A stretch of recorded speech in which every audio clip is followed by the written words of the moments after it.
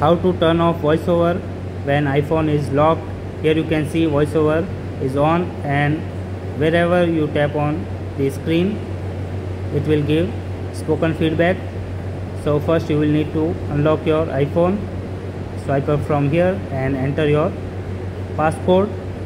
So for this tap on the digit and double tap to enter it.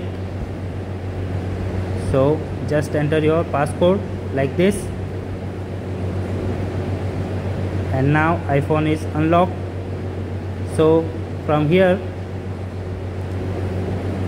you can see uh, if you tap on any app icon it will not open. And you will just hear about it. And you can't even swipe. So you will need to go to the settings. So tap on settings and double tap to open it. Now you will need to scroll down use three fingers like this to scroll down.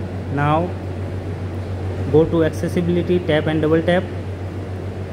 Here you will see the voiceover option tap and double tap to open it. Here you can see voiceover is on. So you will need to double tap on it to turn it off.